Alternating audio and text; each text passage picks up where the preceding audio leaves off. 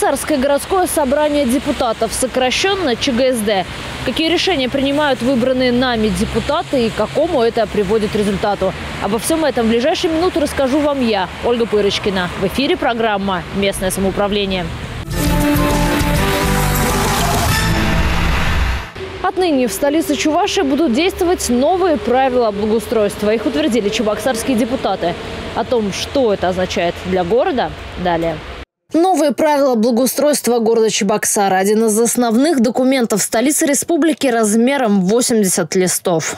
В целом, э, в правилах отражены современные требования к формированию комфортной городской среды, какой должна быть реклама, чтобы она не портила облик исторических зданий? Какие деревья следует сажать на той или иной территории? Как должны быть оборудованы родники? С одной стороны, новые правила отвечают на тысячи вопросов. С другой, увы, оставляют городские власти беспомощными. К примеру, перед теми, кто паркуется на газонах или бросает старые автомобили зимовать во дворах. С парковками на газоне там вообще очень сложная ситуация. До сих пор э, не принято еще и федеральное законодательство в этом плане. Сами депутаты надеялись на то, что в этих правилах мы пропишем так, чтобы можно было потом со временем и э, уже штрафовать и применять определенные санкции какие-то к нарушителям. Но сейчас мы не можем это сделать. К сожалению, должен сказать, что это можно считать лишь только первым шагом на пути э, к тем правилам, которые бы удовлетворили всех ибо на обсуждении нашей комиссии по городскому хозяйству мы с коллегами столкнулись с рядом вопросов, на которые разработчики э, этих правил, к сожалению, нам полностью ответить не смогли. По требованию э, контейнерных площадок, например, по содержанию газонов, например, к сожалению, мы сейчас не имеем возможности законной избавлять э, жителей нашего города от того автомобильного хлама, который загромождают проезд подъезды к подъездам, загромождают э, дороги. Так или иначе, плюсов для города в новом документе народные избранники, судя по всему, нашли больше. Большинством голосов правила благоустройства утверждены. Тему продолжим с председателем постоянной комиссии Чебоксарского городского собрания депутатов по городскому хозяйству Дмитрием Никаноровым. Дмитрий Валерьянович, здравствуйте. Добрый день. Ну вот новые правила благоустройства, контроль за реализацией программы формирования комфортной городской среды, завершение четвертого этапа по переселению граждан из аварийного жилья. Я знаю, что депутаты тоже часто выезжали на строящиеся объекты. Год у вашей комиссии получился очень насыщенным. Но вот я бы хотела начать еще с правил благоустройства все-таки. А, насколько вы довольны довольны результатом, приняли. И вот все-таки мне не совсем понятно, что именно изменится в городе с э, введением новых правил по благоустройству. Ну, знаете, вот сразу говорить о том, что кардинально все поменяется, конечно, это неправильно. Вот сейчас мы перешли, наверное, к третьему этапу по правилам благоустройства. Первый – это был подготовительный, когда эти правила делались. Второй – когда мы проходили обсуждение непосредственно с горожанами.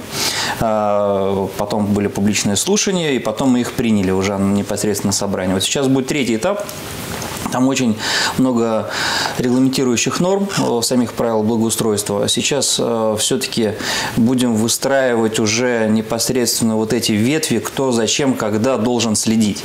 Потому что сейчас мы их приняли, но они, на наш взгляд, на 100% пока не работают. Ну, то есть это получается не, не просто список запретов, да, что можно нет, в городе, что нельзя, нет. а именно как раз механизмы. Конечно, да, да кто-то же должен еще все это и контролировать, в том числе, да, отслеживать, насколько они хорошо выполняются поэтому там у рекламного отдела, да, у него свои э, нормы, свои правила, он должен где-то там отслеживать. У там ЖКХ и благоустройства, допустим, свои, и вот так вот э, дальше по цепочке. Поэтому вот нужно весь механизм выстроить, чтобы он как часы работал, э, для того, чтобы наш город жил по определенным правилам, чтобы люди э, знали, э, когда что должно быть, что можно делать, что нельзя делать. А там же еще и сроки прописаны, да, там, допустим, как, документация какая-то должна даваться. Ну, там вот много всего. Если вы посмотрите, э, правила довольно-таки объемные. Ну, вот я смотрела, это документ 80 листов, и обычно, когда смотришь документ, да, какие-то вещи ты, может быть, пропускаешь, да, мимо, а на какие-то обращаешь внимание или запоминаются какие-то отдельные определенные пункты. Вот для вас что это? Что запомнилось в новых правилах, на что вы сразу обратили обратили внимание по сравнению, например, со старыми? По сравнению со старыми? Да. Вот для меня, например, это то, что мы улицы да, разделим на типовые исторические, что касается рекламы. Ну, честно говоря, ну вот вы видите, опять э, затронули рекламу, и многие на этом тоже затрагивают внимание свое. Просто раньше этого меньше было прописано. Сейчас э, у рекламщиков э, они очень шагнули вперед. Очень много появилось э, терминов, которых не было раньше. И поэтому там серьезно очень большой блок э, прописан. Ну, можно сказать, что это тоже один из таких запоминающихся непосредственно в самих правилах благоустройства моментов. А можем У рассчитывать... нас частные парковки появились, да, там муниципальные парковки, поэтому и это там тоже все прописано. А вот что касается рекламы, можем рассчитывать на то, что не только да, появились термины, они вошли тоже в правила благоустройства, да, по эти новые билборды там и так далее, а то, что, например, в нашем историческом Арбате будет меньше каких-то, я не знаю, вывесок, да, или бегущих строк рекламных? Там это все регламентировано на самом деле, непосредственно по исторической части. И вот, кстати, для внимания наших телезрителей, наверное, тоже будет очень правильно сказать о том, что там сейчас прописано по световым потокам, как э, вывеска должна светить, особенно которая находится на зданиях. И как вообще на зданиях эти вывески должны быть отражены, какие там отступления должны быть. Ну, часто есть, действительно жалуются люди, что ночью, Когда да, включается, когда выключается, все есть. Потому что раньше были жалобы, и невозможно было на что-либо сослаться. Э, сейчас это уже можно четко сказать. Вот должно быть так. По дворам можно сказать, что там сейчас отражено, какие должны быть мус, э, мусорные площадки, контейнеры, ну, то есть как они должны быть огорожены. Да, этот пункт? Да, вот сегодня только что недавно вот разбирали, буквально там час тому назад как раз э, что есть э, дворы у нас до сих пор, где не поменяли э, контейнера. Они до сих пор там непонятного вида, ржавые. Где-то даже нет обозначений, кто является перевозчиком данного мусорного контейнера, что тоже э, не соответствует нашим регламентам, не соответствует нашим правилам. А что решили? Вот кто будет все-таки огораживать, да, делать э, действительно крышу над вот этими баками мусорными? За чей счет? Управляющей компании? Ну, сейчас нет такого понятия, что крыша там должна обязательно быть. Крышки на контейнерах, они должны быть, да, они прописаны, что у нас есть определенные стандарты для контейнеров. Считаем, что это будет правильно, потому что не должно быть так в столичном городе, что где-то они евроконтейнера, а где-то стоит, можно сказать, и бочка там обычная какая-нибудь. Угу. Кто сегодня сказал, что бочка не может быть контейнером? Ведь правильно? В правилах, а если видимо, кто, прописано. А да, если кто-то поставит там обычную бочку и скажет, а у меня вот такой контейнер, и мы ему, получается, ничего сделать не можем, это же неправильно. Согласна. Вот. А когда есть э, определенный стандарт, определенные нормативы, можно сказать, друг, ты извини, но ты живешь по правилам благоустройства в городе, в котором ты проживаешь. Сделай так, как написано в правилах, и не будет к тебе никаких вопросов. Пока это на управляющую компанию ложится, вот если мы говорим прям про контейнеры? Ну, Получается, что да. Я знаю, что вы проводили круглый стол, который был посвящен долгам управляющих компаний перед э, ресурсоснабжающими организациями. Население платит более-менее исправно. До ресурсников эти деньги ну, частично доходят в неполном объеме. Что решили? Какое решение здесь может быть? Очень хороший вопрос. Э, конечно, он у нас с бородой уже тянется. Мы проводили круглый стол. Это было примерно месяц тому назад. Мы собирали ресурсоснабжающие организации наши и собирали самых таких, можно сказать, злостных неплательщиков э, с стороны э, видения города и со стороны видения самих управляющих компаний, ресурсоснабжающих организаций. Так. Вот. Пытались понять, почему это у них происходит, почему они не платят. И э, непосредственно, получается, мы как там были, можно сказать, арбитрами на, этой, на этом круглом столе, конечно, потому что мы не можем сегодня влиять, у нас нет э, рычагов на то, чтобы мы сказали, так, там, допустим, управляющая компания, там, назовем ее любую, там, пусть Чебоксары, ты сегодня идешь домой, вернее, идешь в свою организацию и сразу же перекидываешь деньги в управляющую компанию. Нет, мы, у нас нет таких рычагов. Мы сегодня э, стоим в стороне и пытаемся помочь. И как с одной стороны, э, так и с другой стороны. Друг другу, чтобы они друг друга услышали. И запла- кто-то там заплатил деньги, не откладывал куда-то, не уводил эти деньги в сторону, не отправлял их на какие-то другие нужные, а непосредственно отдавал управляющего в ресурсоснабжающие организации. Важный момент, потому что потом, когда в ресурсоснабжающих организациях накапливается большой долг, они могут подать и на банкротство управляющие компании, они могут и свет отключить, и воду. Мы не хотим, чтобы в городе Чебоксары был такой коллапс. Вот, и пытаемся как-то наладить. Э, в рамках круглого стола выяснилось, что да, есть такие управляющие компании, которые на самом деле деньги уводят э, там где-то на какой-то ремонт, а где-то вообще непонятно, куда это. Такое есть. Это, это для нас проблема. Но еще один вопрос вопрос тоже формирование комфортной городской среды. Э, в конце октября стало понятно, что по ряду территорий, по ряду дворов провалены все сроки да, качества работы. Некоторые э, работы оставлены уже до весны. Вот здесь депутатский корпус тоже как будет воздействовать? Насколько подключится к контролю за реализацией программы? Я согласен с вами, что сроки были провалены. Вот. Эти сроки мы передвинули. Передвинули по какой причине? Во-первых, э, под конец уже окончания срока сдачи была непогода. И мы прекрасно понимали, ну, ну, конечно, грязь, лужа. Есть 27. грязь, есть лужа. Они бы, если бы сегодня бы нам постелили бы где-то асфальт, то он бы потом просто поплыл. Уж лучше конечно. переждать, и чтобы они потом сделали.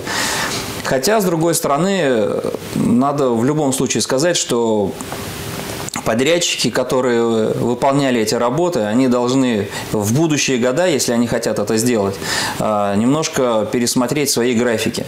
То есть стелить асфальт где-то пораньше, учитывая, что погодные условия могут их подвести. Это они должны все просчитывать. Ну, конечно, они должны были предусмотреть это в любом случае. Но есть все подрядные организации, которые вышли за определенные рамки, сдачи своих объектов, к ним будут применены штрафные санкции. Это уже давно решено, их об этом предупреждали, поэтому все на их совести. Что главное волнует людей, они все-таки работу-то свою доделают? Да, совершенно верно. А, работу они свою доделают, есть контрактные обязательства, поэтому благоустройство, которое они должны будут э, против, после себя сделать, это они обязательно сделают. Мы, как депутаты, вместе а, с общественниками, э, с Общероссийским народным фронтом, э, с администрацией города выезжали по дворам. Каждый двор у нас был проинспектирован депутатами. Мы сделали свои определенные замечания, где мы с чем согласны, где не согласны. Что показал наш объезд? Если в целом немножко подытожить, то получается такое. Где-то э, есть недоделки в плане асфальтировки, потому что а, когда вот мы ездили уже, была погода не очень хорошая, э, зачастую это мы проезжались после дождя, мы видели, что стоят лужи. Притом они довольно-таки большие. Значит, асфальт уложен не по технологии. Луж быть не должно. А, зачастую видели то, что не вывезли строительный мусор после себя хотя они должны это все сделать. Но я уж не говорю про траву, ну, которую желательно газона, там да. э, засеять. Ну и потом там такие моменты ну, Кто-то не убрал действительно старые металлические конструкции, да, да когда верно, торчит да. штырь буквально на земле да. рядом с детской Да, вот. Э, площадкой. Но здесь еще, поймите правильно, что подрядчики, они выполняют свою работу непосредственно по контракту, который у них прописан. Вот те работы, которые прописаны, они это делают. А если где-то там торчит штырь, а у них это в контракте нет, они это могут не делать. Ну, это здесь ведь, это ведь двор, на этом уровне надо вести. Конечно, это ведь двор, и там э, непосредственно должны уже выполнять работу сами управляющие компании. Вот этой взаимосвязки управляющей компании, э, жильцов и подрядной организации, которая делала и осуществляла работу непосредственно в каком-либо дворе, вот мы ее не увидели. И на будущее мы бы хотели бы, чтобы эта связка обязательно сработала. Ну что ж, я сказала в начале программы, что у вас был у вашей комиссии очень насыщенный год, и я предполагаю, что следующий год будет не менее насыщенным. Ну, это однозначно. Спасибо. Я напоминаю, мы беседовали Большое с депутатом спасибо. Чебоксарского городского собрания Дмитрием Никаноровым. Бюджет столицы республики на 2018 и плановые периоды 2019 и 2020 годов обсудили на публичных слушаниях. Свои предложения, на что потратить средства, мог высказать каждый. Общий объем доходов бюджета города Чебоксары на 2018 год прогнозируется в объеме 10 миллиардов 198 миллионов 220 5,4 тысяч рублей. Собственные доходы прогнозируются в сумме 4 миллиарда 79 миллионов 202,4 тысяч рублей. Больше 10 миллиардов. Бюджет еще не наступившего 2018 года практически равен недавно уточненному бюджету на год нынешний. Это означает, что уже сейчас в городскую казну поступила большая часть средств из вышестоящих бюджетов. Какого еще не было, э, по крайней мере, в моей памяти. Это хорошо. Э, многие э, средства, поступаемые с федерального бюджета и республиканского, когда они уже есть, мы уже можем готовить аукционы, конкурсы для того, чтобы привлекать уже подрядчиков для выполнения тех или иных подрядов. Впрочем, на удовлетворение всех потребностей городу денег опять не хватает, отметили городские депутаты. По их расчетам речь идет о двух миллиардах рублей. В 2018 году на территории города Чебоксара подлежат переселению 8 многоквартирных домов, признанных непригодными для постоянного проживания после 01.01.2012 года и не включенных в программу которая уже, кстати, завершилась. Ориентировочная стоимость переселения составляет 77,6 миллионов рублей. Стоит отметить, что мы эти деньги на 2018 год не заложили. Почти во всех образовательных учреждениях города необходимо провести замену оконных блоков на общую сумму 276 миллионов. Ну, мы знаем, да, некоторые окна даже не могут помыть в садике, потому что они могут развалиться, не то что там открыть. Это опасно, это нужно. А еще нужны средства на дороге в частном секторе, замену ламп уличных фонарей на светодиодные, ремонт муниципальных загородных лагерей, строительство очистных для ливневой канализации. Список бесконечный. Что из этого включить в расходную часть, а на чем пока сэкономить, предстоит решить депутатам. Принятие бюджета запланировано на 21 декабря. Это была программа «Местное самоуправление» и Ольга Пырочкина. До свидания.